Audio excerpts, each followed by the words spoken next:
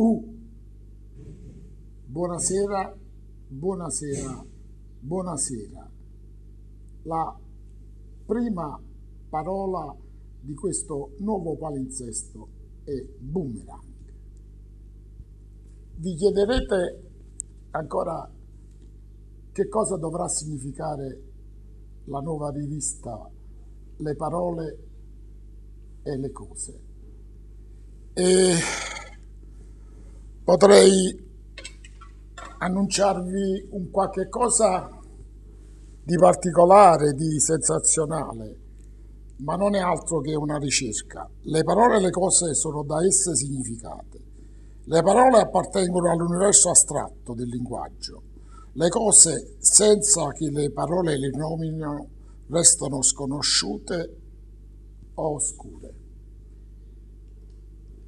Vi ho rappresentato il nuovo palinsesto con una simbologia culturale e un piccolo oggetto che è il boomerang per presentarvi stasera subito con me perché ho scelto lei, una iconografa, la professoressa Genoeffa. sì, diciamo Gea. La quale già mi corregge, la professoressa Gea Palumbo, ma io mi sono permesso di chiamarla tale perché vorrei, per la sua accademia, per la sua simbologia dato al termine che le parole sono la concezione delle cose. E senza le cose noi uomini gutturali post eventi della vita e post Darwin non potevamo avere altra concezione se non davamo importanza alle parole. Lei è una delle più importanti studiose, mi, me la lancio tutto, ecco perché dicevo buonasera, buonasera, buonasera. È una delle più importanti studiose eh, del pensiero della donna, ma il pensiero dell'archivio storico del, di, della nostra isola, l'isola di Procida. E con lei mi voglio avventurare in questa avventura per chiederle di averla ospite perché tutti si scelgono uno storico, io mi sono scelto una storica al femminile, ma non per la quota donna rosea, ma per la quota azzurra che voglio ritrovare in questo mondo che non sa neanche cosa sia la quota rosa. E lei stasera me ne darà ragione. A lei la parola. Chi è la professoressa Giapolò?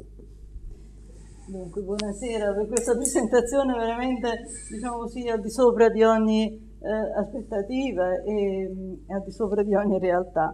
Eh, è vero che io, diciamo, sono studiosa di iconografia, è vero che sono anche una studiosa, diciamo così, dei nomi mh? Mm? e quindi di questo rapporto interessante tra il nome e la cosa.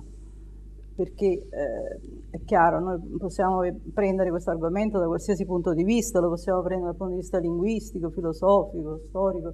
Io l'ho preso dal punto di vista storico, perché mm, eh, diciamo così che eh, prima di tutto ho cominciato con una ricerca appunto attorno al mio nome, perché io fino a una certa età sono stata convinta di chiamarmi Gea, perché tutti mi hanno sempre chiamato Gea, anche sulla partecipazione del battesimo che mia madre mi faceva dire, stava scritto Gea, Gea Palumbo. Un giorno invece stavo a scuola, alla scuola elementare, e allora mi sentivo, sentivo chiamare nel corridoio, Genoveffa, Genoveffa, Genoveffa. Io naturalmente non mi voltavo perché non avevo idea di chi potesse essere questa Genoveffa. E poi invece la direttrice della scuola mi mise una mano sulla spalla, disse Genoveffa, ti sto chiamando tanto tempo. E disse, ma io non sono Genoveffa. E lei allora rimase e non sapeva che io, diciamo, in quel momento avevo avuto una rivelazione del mio vero nome. E ho sempre poi sospettato che dietro questo mio vero nome ci fosse un'altra verità rispetto a quella che io conoscevo. E poi da grande l'ho scoperta quest'altra verità, cioè ho scoperto perché io mi chiamavo Genoveffa, cos- chi era questa Genoveffa de- de- diciamo, di cui io portavo il nome inconsapevolmente.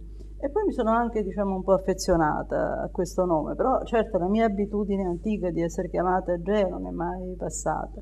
Nell'archivio di Procida è, è stato uno dei luoghi delle, primitivi della mia ricerca, della mia ricerca poi quando ho fatto il dottorato di ricerca, l'ho fatto nell'archivio di Procida. Ma lei mi sta dando una sollecitazione per riportarla ancora all'ulteriore ricerca, quando io, avendola conosciuta, e certamente non ho voluto improvvisare, ho voluto studiare dai suoi testi, ho voluto ricercare quella simbologia che insieme lei mi ha portato stasera a costruire questo palinsesto. Quando io le dicevo una cosa, lei mi ha detto, uh, professore, lei lo può chiamare eh, il termine giusto, le parole e le cose, certo. perché nelle cose lei già nel suo rappresentarsi come Noeffa mi ha fatto una rappresentazione che dovrei stare a raccontare per raccontare un periodo accademico che gira tutto il mondo, da Parigi a Vienna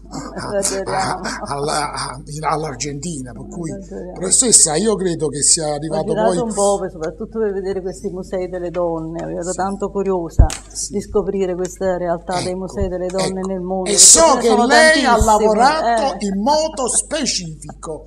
La mia che cosa ha rappresentato per lei il Museo delle Donne? Dunque, il Museo delle Donne è un sogno che io coltivo eh, perché lo voglio realizzare proprio. Se, se, la parola realtà significa una realtà, diciamo così, eh, storico e geografica in un certo luogo, perché da un certo punto di vista io già l'ho realizzato, un Museo delle Donne, in forma virtuale, perché io sono convinta che diciamo, anche la realtà virtuale è una sua realtà, no? è una realtà, è un tipo di realtà, non è che non esiste il virtuale, il virtuale esiste, anzi il virtuale può aiutarci a capire meglio il femminile e a fare un museo delle donne molto più bello di quelli che esistono, perché io ho girato un po' e li ho visti. In genere i musei delle donne che esistono nel mondo sono eh, appiattiti soprattutto su, diciamo, sul femminile esclusivamente come il femminile della casa, il femminile della maternità, il femminile della cucina, il femminile dei cosiddetti lavori femminili, cioè sono una sorta di, di, musei delle tradizioni popolari al femminile. Ecco, questi sono in genere i musei delle donne che ho visto. Eh, oppure viceversa sono una sorta di centro di documentazione del femminismo, no? che, che, è un altro versante naturalmente del femminile. Eh, però hanno un'altra pecca per così dire, no? cioè un'altra, eh, un'altra visione ehm, ehm, come dire, limitante, perché fanno, basta che una cosa sia fatta da una donna, entra in questo museo, no? E quindi sempre soltanto il discorso delle donne escluse, il discorso delle donne in ombra, e sono una sorta di centro di documentazione del femminile più che un vero museo, no? Il museo viene dalla parola, diciamo, museo, dalle muse, no? Paradossalmente diciamo, il primo, il più antico museo eh, era, era, la casa delle muse, ma le muse per gli antichi eh, greci eh, non erano eh, anche, diciamo, ehm, come dire, le patrone delle arti figurative. Questo è interessante perché i nostri musei sono soprattutto musei delle arti figurative, della pittura, della scultura, no? questi sono la maggioranza dei musei, poi ci sono i musei diciamo, di altro tipo. Invece per, il, per, per i greci, eh, diciamo, eh, queste arti figurative non erano, queste non erano vere e proprie arti, erano arti nel senso di tecnai, tecniche, no? anzi le condannavano, pensiamo a Platone, no? l'arte imitazione di un'imitazione, eccetera, questo tentativo. Eh, Ma lei, lei, mi fa delle provocazioni sistemiche. Eh, quanto ci siamo ascoltati eh, per i primi incontri che abbiamo avuto per arrivare a questa serata, eh, io mi rifacevo sempre a Platone, eh, questa famosa caverna eh, che pare che sia stata lasciata dall'uomo che deve combattere, ecco perché poi al femminile io non mi sono voluto vedere in questo buio che va fuori e qualche, qualche Uh, forza umana um, protegge la caverna per un combattente che va a caccia Dico io sono, sono belle chiacchiere che ci hanno voluto far credere da bambini. Ecco perché mi sono voluto abbeverare alla sua competenza, perché la ricerca delle cose e, degli oggetti, non a caso ne avevo presentato uno che aveva una simbologia del ritorno, quel boomerang certo, che per certo, me rappresentava un ritorno. E allora io uh, sono arrivato a lei perché penso che lei ha un, un, padre spirituale. Nel 1966 uh, eh, un uomo che in Francia Foucault abbia detto qualche cosa che mi appartiene, ma le appartiene, ce lo dica perché... Diciamo che parlare di Foucault oggi è molto difficile, eh, lo è stato sempre, in particolare oggi che diciamo, sono passati tanti anni e tanti sono stati i ripensamenti e poi io non sono una filosofa, diciamo, quindi posso dire quello che io ho capito di questo, di, di questo libro, che però mi è rimasto diciamo, nel cuore. Ehm, cioè, in realtà Foucault, più che... Ehm, più che fare una storia della scienza, no? Lui fa una storia dei modi in cui la scienza si è espressa, cioè dei linguaggi scientifici, che sono diversi eh, naturalmente nei, nei, vari momenti storici, eccetera.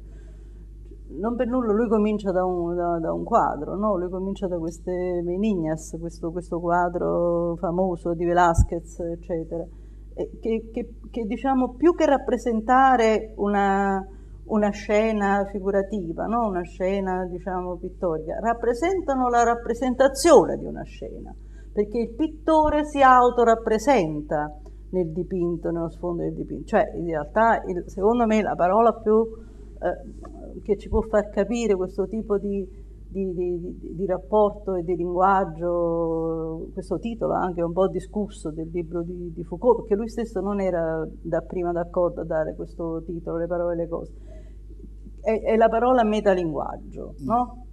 Cioè ogni linguaggio in realtà è anche detto, quindi c'è un linguaggio del linguaggio e questo è il metalinguaggio. E quindi in realtà lui studia il metalinguaggio, potremmo dire che il suo libro è un metalinguaggio del linguaggio scientifico. E allora lei ha percepito che la follia che è in me, perché uno che vuole fare del giornalismo un modo altro di fare giornalismo, di fare televisione, di fare comunicazione, aveva un significato. Uno scientifico appartenente della mia classe, avendo avuto tutti i passaggi dal, dal, dalla materia alla molecola alla, alla riflessione della testa, io credo che oggi il concetto di chiedere a lei la rappresentazione delle cose e se in intorno a queste cose sì, sì, eh, sì, potevo costruire un palinsesto, lei mi ha detto sì, mi dica perché non ho sbagliato. Le cose sono state al centro della mia ricerca. Io ho usato questa terminologia, la, per esempio nell'ultimo libro che ho scritto si chiama Quadrilli, le donne e la religione delle cose, nell'isola di Procide al di là dei suoi confini. Dunque, cos'è questa religione delle cose? No? È molto importante secondo me questo concetto proprio di cosa. Perché?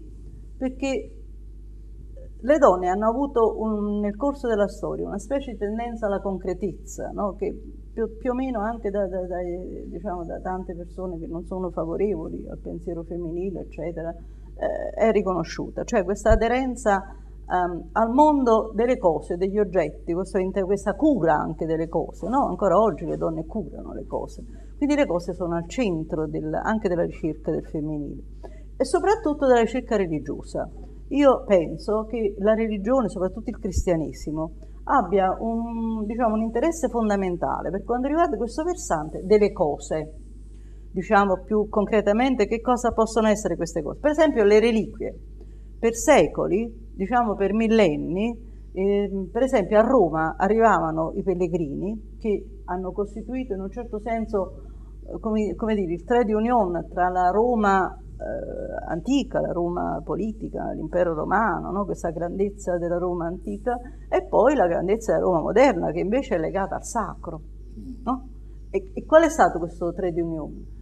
Che Roma aveva queste reliquie importantissime, per esempio le tombe degli apostoli Pietro e Paolo, le reliquie stesse degli apostoli. Chi è che a un certo punto ebbe questa intuizione geniale? di trasformare il cristianesimo che nei primi secoli era stato soprattutto e quasi soltanto una religione di parole, di parabole, di promesse, in una religione di cose, la tradizione ci dice che è stata Elena, la madre dell'imperatore Costantino, no? che agli inizi del IV secolo eh, decise di andare a Gerusalemme e di vedere se veramente questo cristianesimo aveva, per così dire, delle prove, delle cose. No? Andò a Gerusalemme e trovò la croce, dice naturalmente la tradizione, che da non tutti accettata, però per millenni per millenni creduta vera, quindi ha avuto una sua verità storica comunque, anche qualora non fosse esistito questo viaggio, no? perché la verità, no? anche la verità delle cose non vere, per così dire, ha una verità storica, perché si è riverificata nella storia.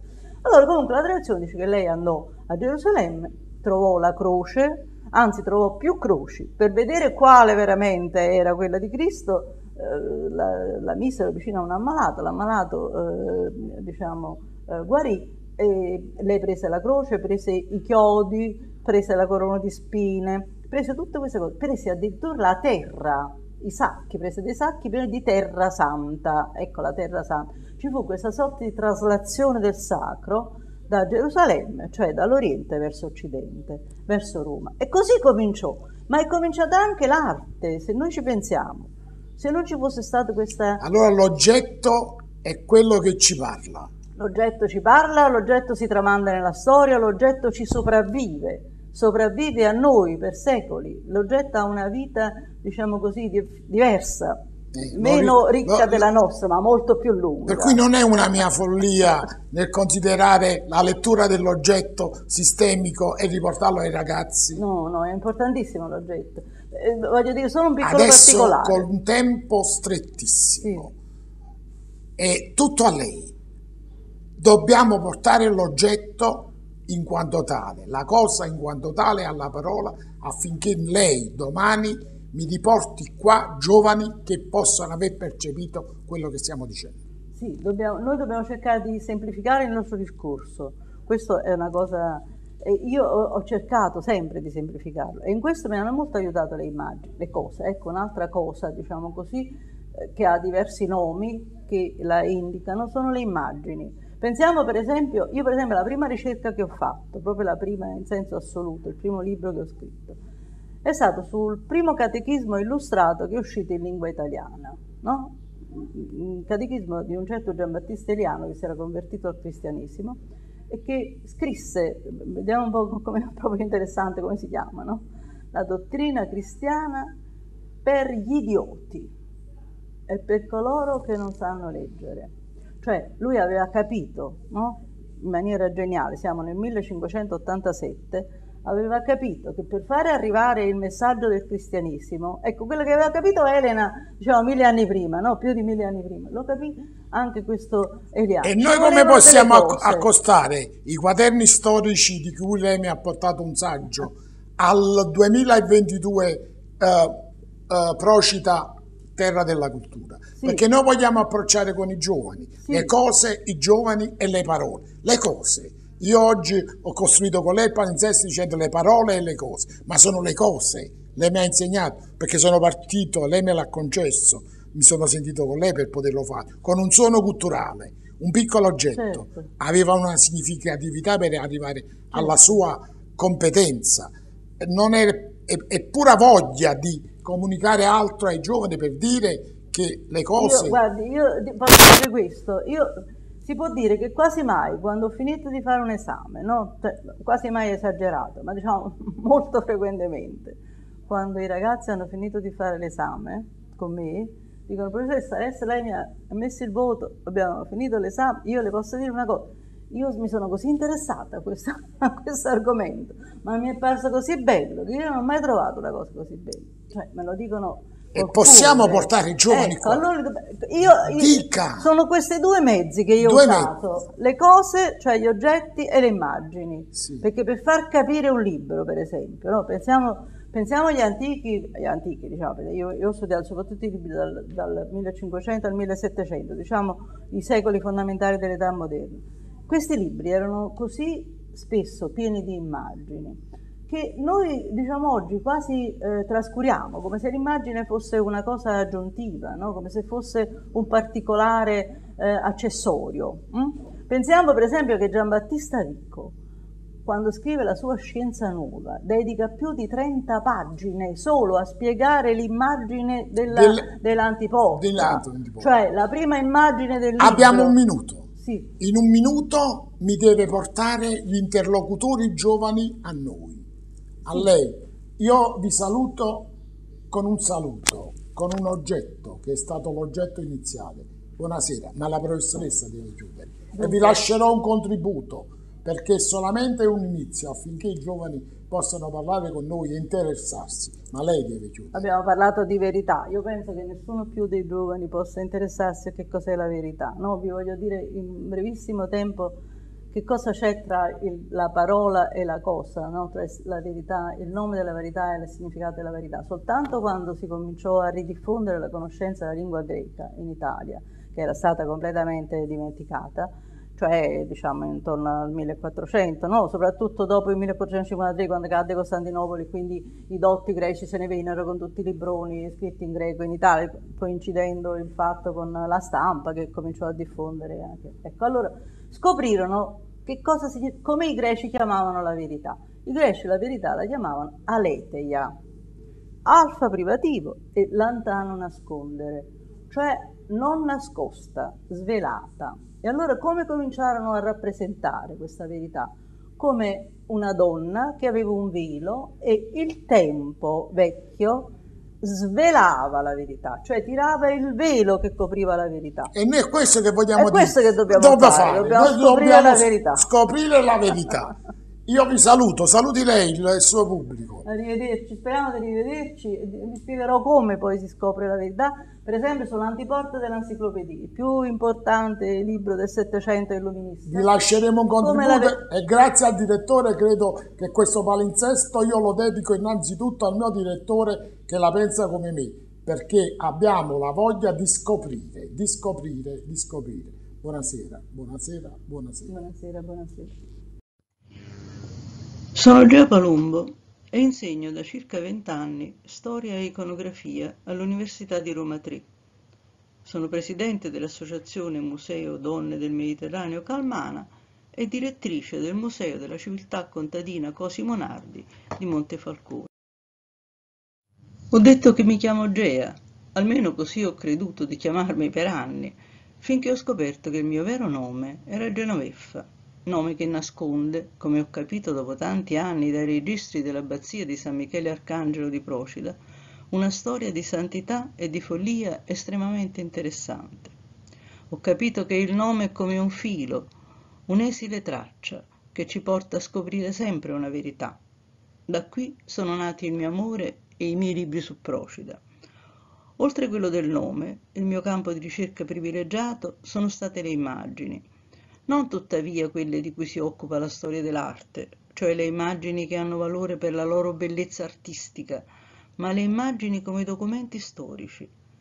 Le immagini più importanti da questo punto di vista sono state di due tipi, quelle che si trovano nel primo catechismo illustrato e quelle della prima donna nata al mondo, che si trovano invece in un incunabulo, il Liber Chronicarum di Hartmann Schedel. Il primo catechismo di Giambattista Eliano, 1587, è stato scritto per gli idioti e coloro che non sanno leggere.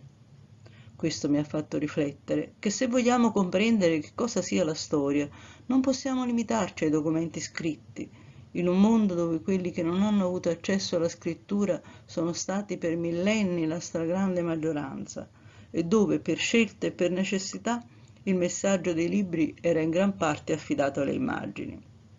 Da questa passione sono nati, oltre tanti scritti, soprattutto due libri, Lo Speculum Peccatorum, che è stato segnalato come miglior libro storico-religioso uscito in quell'anno, e Le Porte della Storia, che ha ricevuto il premio Elsa Morante, Isola d'Arturo. L'altra immagine, che è stata di fondamentale importanza per la mia ricerca, è stata una xilografia cioè un'incisione ottenuta inchiostrando una matrice di legno che ho trovato in uno dei più antichi libri a stampa, quelli che si chiamano incunaboli, come dire libri nella cuna, nella culla, i libri neonati, nome con cui si intendono tutti i libri usciti dalla metà del XV secolo, quando fu inventata la stampa, fino al 1500. Il libro è la celebre Cronaca di Norimberga di Hartmann Schedel del 1493. In questa immagine ho trovato per la prima volta rappresentata la prima donna nata al mondo, secondo le tre religioni monoteiste, ebraismo, cristianesimo e islam, il cui nome è Kalmana. Da queste scoperte sono nate praticamente quasi tutti i libri che ho scritto e anche la fondazione delle due associazioni che possono far comprendere il carattere sociale, oltre che culturale del mio impegno, il Museo delle Donne del Mediterraneo Calmana e le Leccatrices in Fabula.